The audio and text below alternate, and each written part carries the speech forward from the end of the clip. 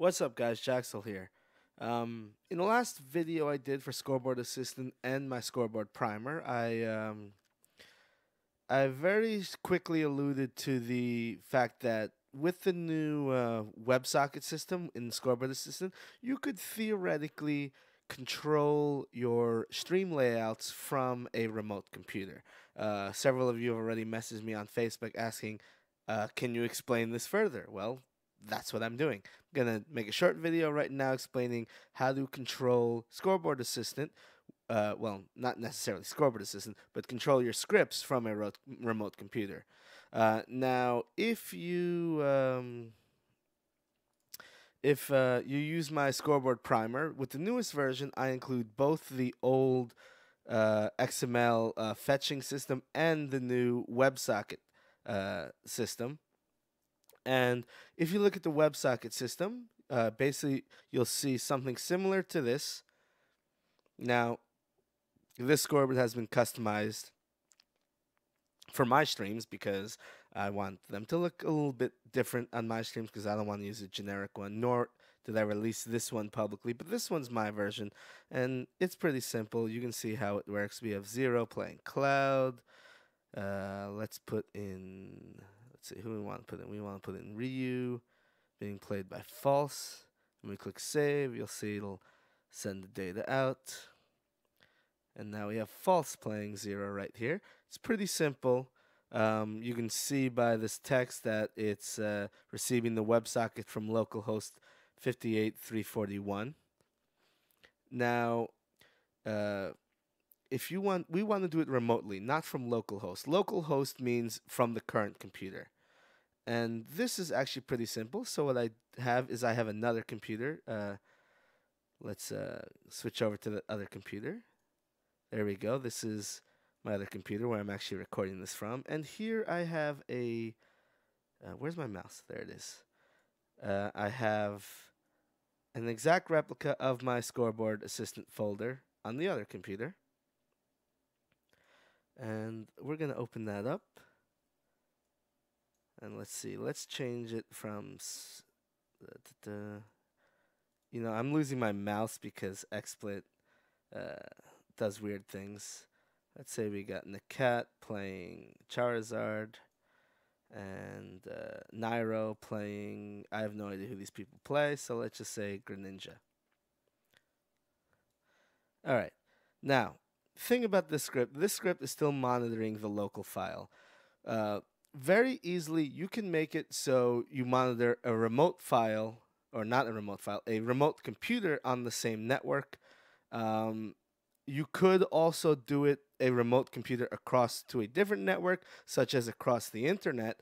But I'm not going to be explaining how to do that because that's significantly more complicated, and there's no single tutorial for that because that's all about uh, how you set up your uh, your networks and your routers with your port forwarding and all that. And everyone's got different routers, so the settings are different. And so I'm just not going to do that. What we're doing here is assuming that both computers are on the same network. Okay, so uh, if we go back to our original computer, here we go, and we go to the scripts folder and open up uh, global.js. Let's open that up. You'll see we have uh, a line on top li right here that says var socket URL equals WebSocket localhost 48341. Now, if I want to monitor a different computer, all I need to do is input a different URL. So instead of localhost, we're going to change it to the address of the other computer on the network. So let's switch to the other computer. There we go. And I'm going to switch, go to the bottom, open up Network Sharing Center, click on Local Area Connection, click on Details, and I'm going to look for the local address on the network, which we have right here, 192.168.1.128. Damn, I lost my mouse again. All right. And now let's go back to the previous computer.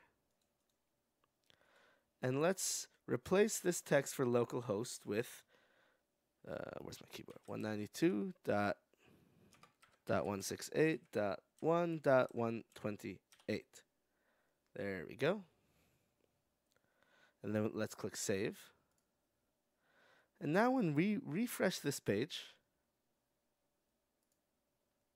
instead of it going to localhost, it's going to 192.168.128.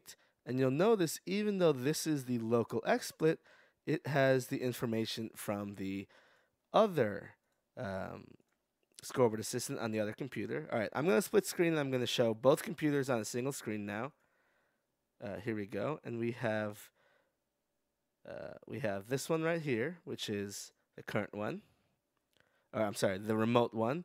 And then we have the local one over here. And so what I'm going to do is I'm going to make some changes here. Let's uh, go chain ace or LLDL, and let's say he's going to play uh, Peach. And click save. And you'll see the other computer has now updated. These are two completely different computers. And we're working across networks here, across, I'm sorry, across the same network here, both computers.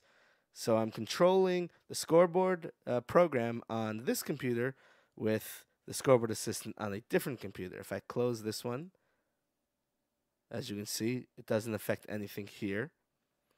Uh, I can also, let's change the scores. Nairo gets a point. There we go. And you know that it's really simple. All I did was change one line of code. Let's uh, bring that back down. And that's just change localhost to the address of the other computer. Could not be simpler than that. And let's see what happens when I close this one. It's going to lose connection. There we go. See? Simple. Very easy. Have a good night, guys.